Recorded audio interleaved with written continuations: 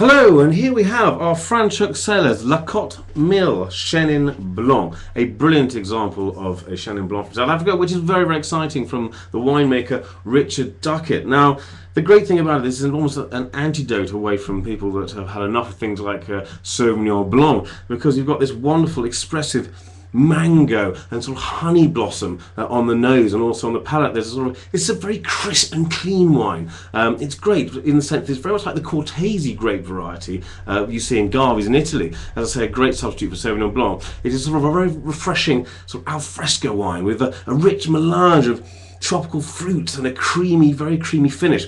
Uh, this is to be drunk young uh, because it is so fresh. And it's perfect with things like sort of barbecued sticky ribs, chicken wings, as it will cut through the, through these sort of stickier sauces, and also with things like barbecue burgers. Or you could of course have it with say a seared salmon or lightly curried chicken. Are you seeing the alfresco image coming through now? This is a brilliantly made wine at an extremely accessible price. Enjoy.